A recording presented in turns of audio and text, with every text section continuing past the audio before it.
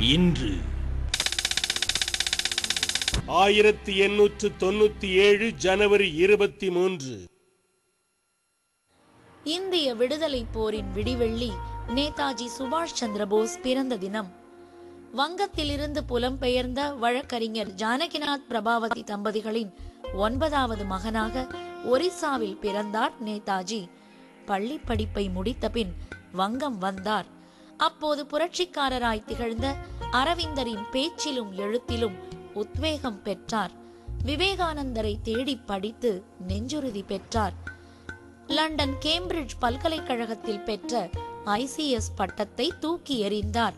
அடுத்தடுத்து பல சிறை தண்டனைகளை அனுபவித்த இவர் மிக பெரும் தண்டனையாய் காங்கிரஸில் போட்டியிட்டு அகில இந்திய தலைவரானார். சிங்கப்பூரில் ராஜ்பிஹாரி போஸ் விதை ஒன்றிய இந்திய தேசிய ராணுவத்தை வீரிய விருட்சமாய் வளர்த்தெடுத்தார்.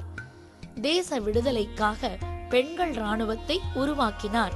கேட்டு பெறுவது யாசகம் விடுதலையை தேடித் தருவது போர்க்களம் என்று நம்பிய போராட்ட வேங்கை வீரத்தின் தளபதி நேதாஜி சுபாஷ் சந்திரபோஸின் பிறந்த தினம் இன்று